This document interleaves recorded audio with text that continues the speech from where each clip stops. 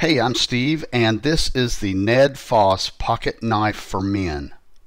This isn't just any knife, it's a multifunctional pocket knife, has five features into one design, and you've got a very large blade for your cutting needs. In case of emergency, the Ned Foss FA48 has a built-in seatbelt cutter and glass breaker. Hey, it's not just a knife, it's also a bottle opener and a four-size wrench. So if you need to pop open a tight bolt, you got it right here in your pocket knife. The blade itself is 8Cr 14 MOV stainless steel. It's going to stay extra sharp. This Ned Foss FA48 features a safe and quick open mechanism because of the liner lock so you don't have to worry about accidental closures. The knife itself, it's compact, it's easy to store, it has a pocket clip so you can carry it in your pocket. It's 8.6 ounces and 9 inches in total length with a 4 inch blade with a thickness of 3.5 millimeter. Basically the perfect knife.